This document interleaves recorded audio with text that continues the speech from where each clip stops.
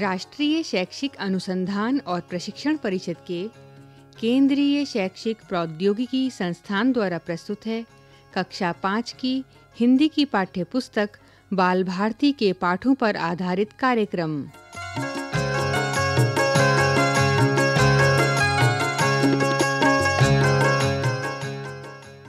राष्ट्र प्रहरी।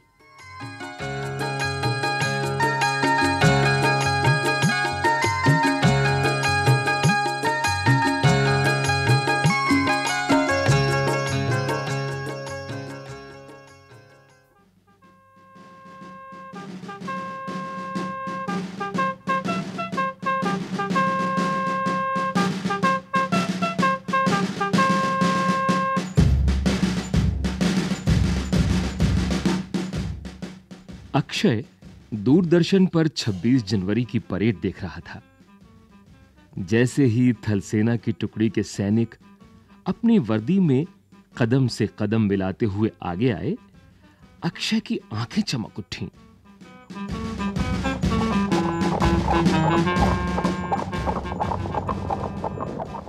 कतारों में चलते घोड़ों और ऊंटों पर बैठे सैनिकों की शान ही निराली थी।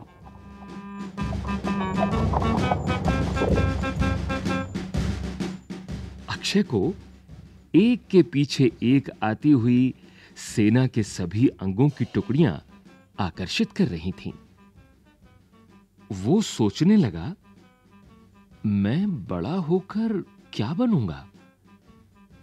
क्या मैं भी ऐसी वर्दी पहनकर शान से परेड में भाग ले सकूँगा? अक्षय मन ही मन एक संकल्प कर बैठा।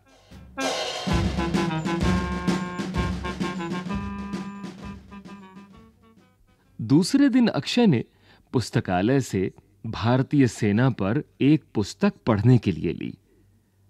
घर आते ही वो पुस्तक पढ़ने लगा। किसी भी देश की सीमाओं की सुरक्षा का दायित्व उसकी सेना पर होता है। भारतीय सेना के तीन अंग हैं। थल सेना वायुसेना और नौसेना। नौसेना का अर्थ है जल सेना।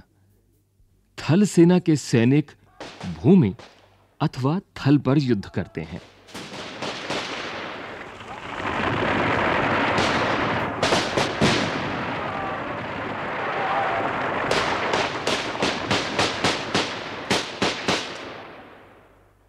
थल सेना में सैनिकों की संख्या सबसे अधिक होती है। एक तरफ़ हिमालय की ठिठुराने वाली सर्दी और दूसरी तरफ़ शरीर को झुलसा देने वाली रेगिस्तान की गर्मी। परंतु ठिठुरती सर्दी और रेत के तूफानों की परवाह न करते हुए सेना के वीर सिपाही हर दम चौकस रहकर अपने देश की सीमाओं की रक्षा करते हैं।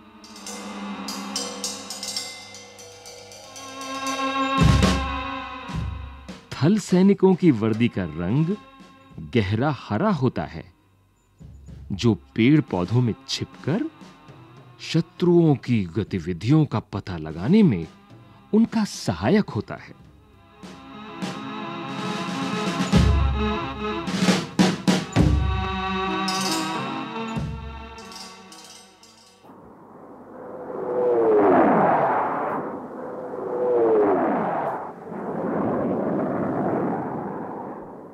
वायुसेना युद्ध के समय हवाई हमलों से देश की रक्षा करती है और थल सेना को आगे बढ़ने में मदद देती है। साथ ही शत्रुओं के ठिकानों और विमानों पर आक्रमण कर शत्रु पक्ष की ताकत को कम कर देती है।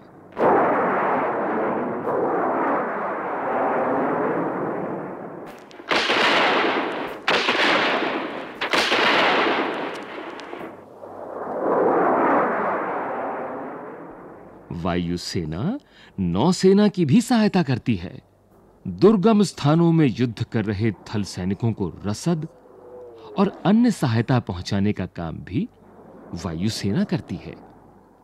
घायलों को अस्पताल तक ले जाने तथा संकट में घिरे नागरिकों को सुरक्षित स्थानों तक पहुँचाने में भी वायुसेना महत्वपूर्ण भूमिका निभाती है।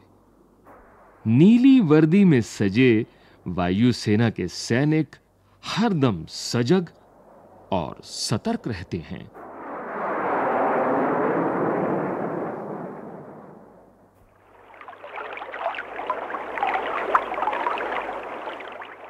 हमारे देश की नौसेना देश के समुद्री तटों और समुद्री सीमाओं की रक्षा करती है। नौसैनिक समुद्री लड़ाई में कुशल होते हैं। और जल की सतह और गहराई दोनों में प्रहार करने में सक्षम होते हैं।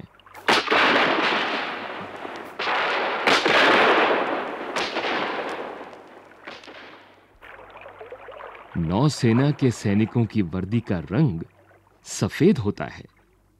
सेना के इन तीन प्रमुख अंगों की सहायता के लिए और भी महत्वपूर्ण इकाइयाँ होती हैं। जो युद्ध के हथियार, विभिन्न उपकरण, रसद, दवाइयाँ, कपड़े आदि एक स्थान से दूसरे स्थान तक भेजती हैं।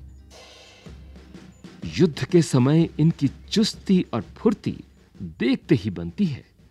सेना को ये किसी तरह की कोई कमी महसूस नहीं होने देती।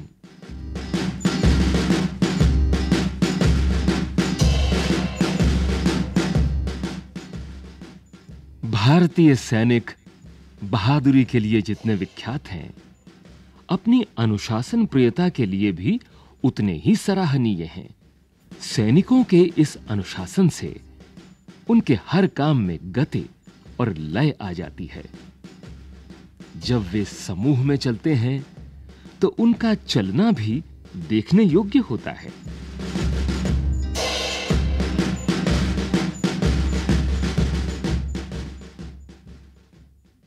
एक अच्छे सैनिक के गुण हैं देशभक्ति, सजगता, साहस, धैर्य और अनुशासन।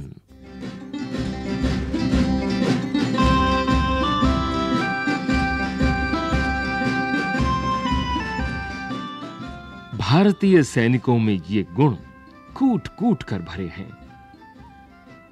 यही नहीं, बाढ़ तूफ़ान, भूकंप, सूखा आदि प्राकृतिक विपदाओं के समय वे जिस प्रकार जनता की सहायता करते हैं, इससे उनकी सेवा भावना का भी परिचय मिलता है।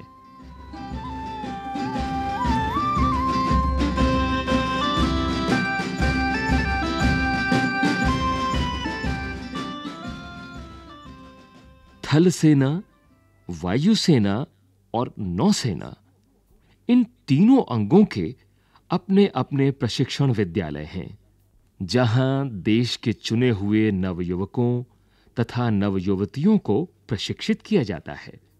इन विद्यालयों के कठोर अनुशासन के वातावरण में प्रशिक्षित होकर ये युवक और युवतियाँ हमारे देश की सेनाओं का गौरव बढ़ाते हैं।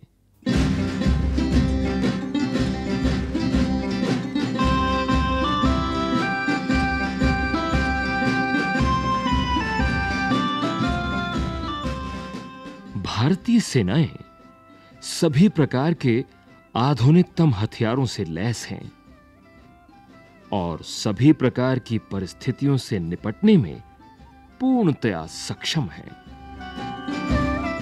हमारे देश के राष्ट्रपति सेना के तीनों अंगों के सर्वोच्च अध्यक्ष हैं।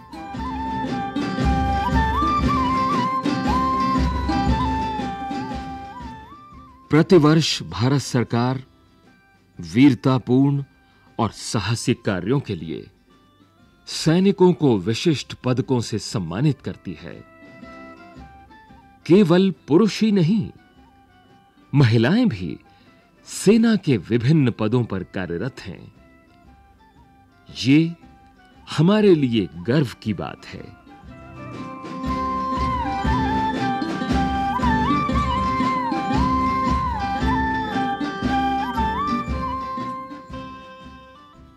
अक्षय पुस्तक पर हाथ रखे हुए कुछ सोचने लगा। उसकी आँखों के सामने 26 जनवरी का वो दृश्य घूमने लगा, जिसमें वो भी सैनिक वर्दी पहने राष्ट्रपति को सलामी दे रहा है।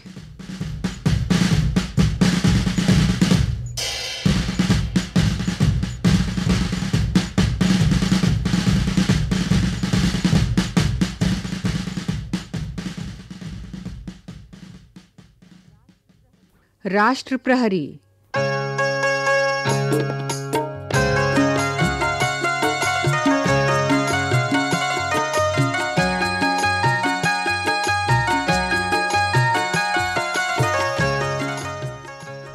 अभी आप सुन रहे थे ये कार्यक्रम। विषय संपादक सत्येंद्र वर्मा और लता पांडे। कार्यक्रम निर्देशन प्रभुदयाल खट्टर। कलाकार नीरज शर्मा। ध्वनियांकन सतीश लाडे और दीपक पांडे, निर्माण सहयोग दाऊ दयाल चतुर्वेदी तथा निर्माण एवं प्रस्तुति, वंदना अरिमर्दन।